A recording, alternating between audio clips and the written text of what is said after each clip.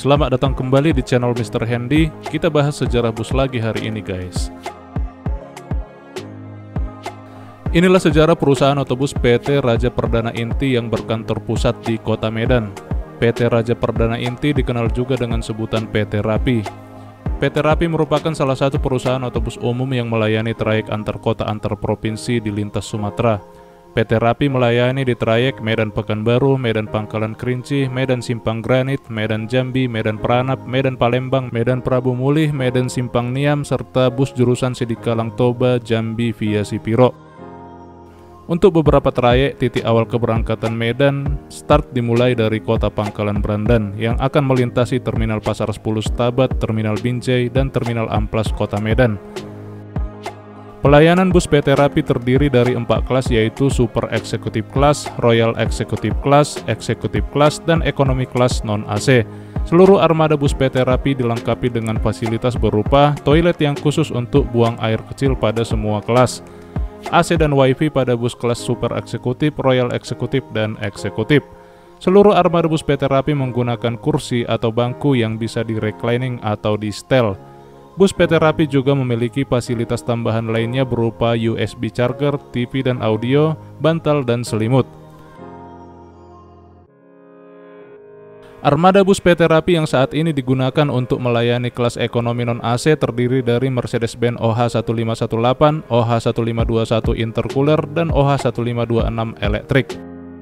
Untuk seluruh bus kelas eksekutif, seluruh armada terdiri dari Mercedes-Benz OH1526, OH1626, dan bus maksi Mercedes-Benz OH1836, Scania K360, dan Scania K410 Tronton. PT Rapi memberikan nama pintu di masing-masing armadanya. Nama-nama pintu bus Rapi ini cukup unik guys, karena berasal dari berbagai bahasa yang memiliki arti mendalam atau penuh makna. Sebagai identitas bus, PT Rapi juga memiliki livery yang abadi. Sejak tahun 1998, livery ini sudah dipakai. Livery yang sangat simpel, yang terdiri dari dua warna, yaitu silver biru lembayung dan biru dongker. Tulisan huruf juga dibuat unik dan menjadi ciri khas bus PT Rapi sampai sekarang. Ciri khas lainnya adalah corak warna biru dongker yang menyerupai sebuah bulu burung yang mana menurut direksi itu adalah gambar sebuah sayap. Livery yang membentuk siluet seperti sayap ini diartikan sebagai harapan agar PT Rapi bisa tumbuh, berkembang dan melambung seperti burung di udara. Itulah sedikit uraian mengenai PT Rapi. Sekarang kita bahas sejarahnya.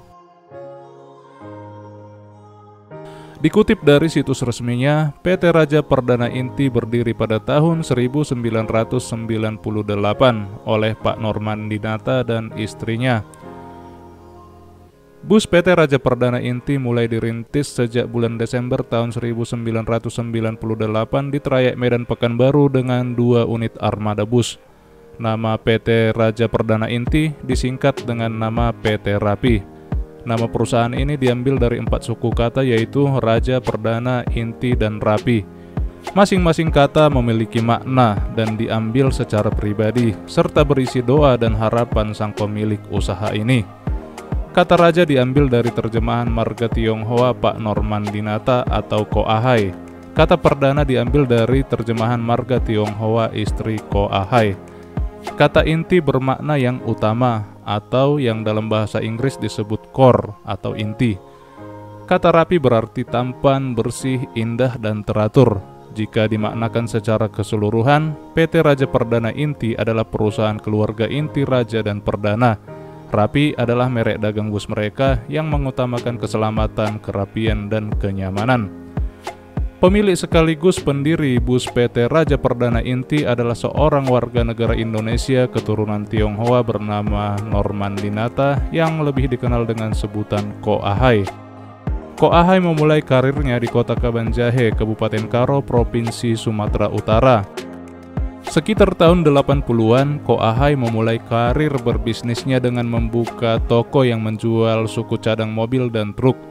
Singkat cerita, pada akhir tahun 80-an, Ko Ahai mulai tertarik dengan usaha otobus dengan membeli satu unit bus PO Sinabung Jaya bermesin cold diesel yang saat itu menjadi penguasa trayek pendek Medan Kabanjahe. Di awal tahun 90-an, usaha transportasi otobus ini semakin berkembang dan sangat diminati oleh masyarakat. Melihat peluang cuan yang sangat prospek, Koahai kemudian tertarik untuk mencoba memiliki bus antar kota antar provinsi.